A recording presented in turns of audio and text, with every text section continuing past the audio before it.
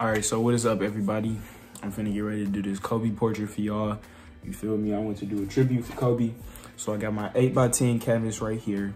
I got my video set up, and we finna do this thing, and I'm finna teach y'all how I do it. I'm finna show y'all every little step-by-step, -step, little detail that how I do it, and we finna just get into it, you feel me? All right, so the first thing you wanna do is you wanna pick a canvas that's right for you whether it be a notebook paper or it be a sketchbook or 8 by 10 canvas like I have here. You just want to pick something that fits what you're doing and that you can put your whole image on. All right, so great. So the next thing you want to do is you want to pick like a reference image. Like I normally go with like something that I feel um, captures what I think I want to do in my head, and then I try and get as close of an image to that as possible, if that makes sense. So um, here I just looked up a picture of Kobe, and I like the jersey, and I know that I wanted to do something with like the jersey, so I did that. So um, here I am. I'm just doing the outline of what it's supposed to be like I'm just doing the outline sketches. All right, so once you got your outline sketch, what you want to do is you just want to just make sure that you're not doing too much detail. It's basically just like the groundwork. Like if you're doing um, anything that has like a mud, like a lot of detail, and it's like very like uh like it has like a lot of textures and stuff like that. You don't want to worry about that just yet. You just want to worry about getting the base image in and basically just like the basic shapes and where the the pace the placement of certain things are in first because it'll make everything else much more easier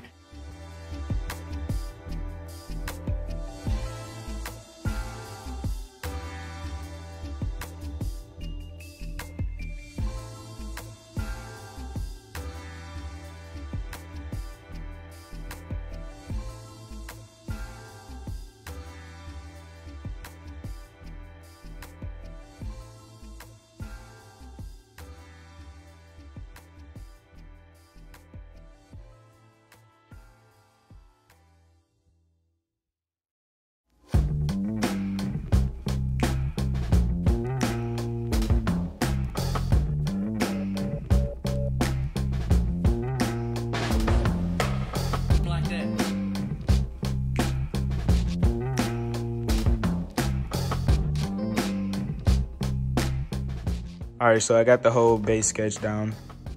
Right now, I'm just picking some colors out.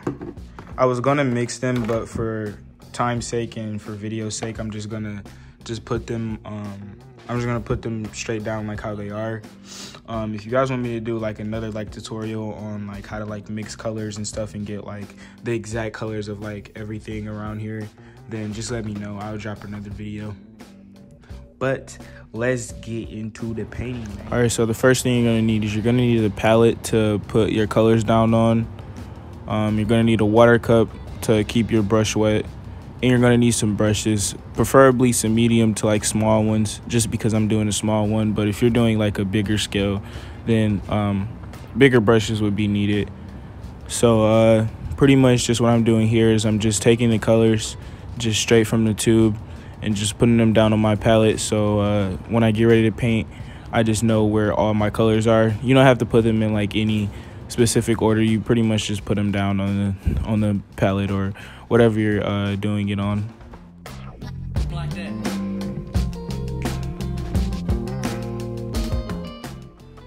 All right so pretty much what I'm doing right here is I'm just filling in the space where the yellow is just needed at I'm not worried too much on going like in between the letters and I'm not worried about uh, getting uh, in between like the numbers and the little spaces that are in between the numbers. I'm really just putting down the paint where it is needed.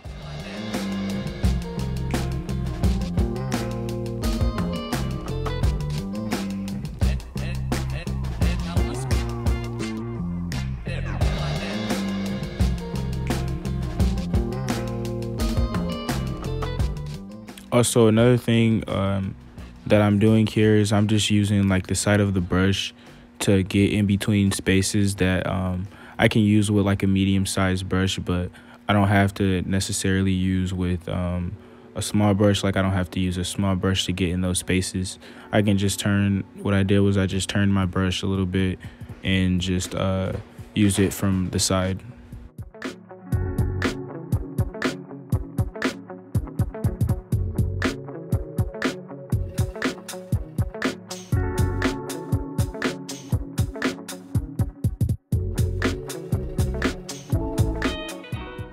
All right, so what I'm doing now is I'm pretty much just going over uh, my sketch that I had before, but I'm pretty much just doing um, an outline of what I had already drawn.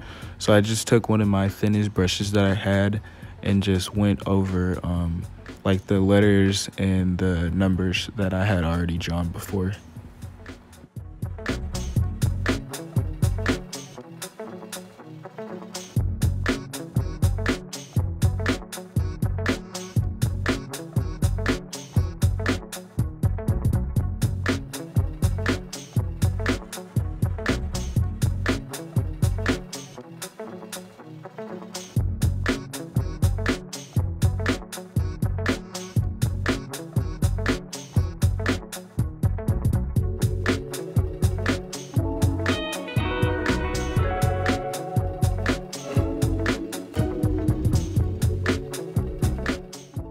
All right, so what I'm doing right now is I'm just fixing an area that I didn't like. It was um, when I was outlining the four, I had too much water on my brush and it kind of created like a little like smear.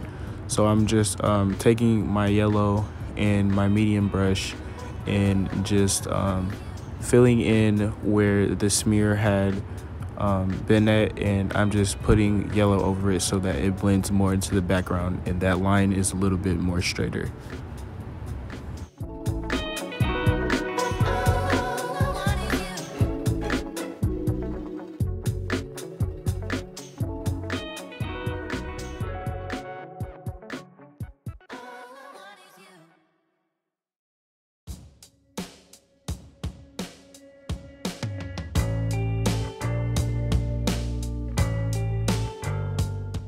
All right so pretty much at this point in your painting you're pretty much done.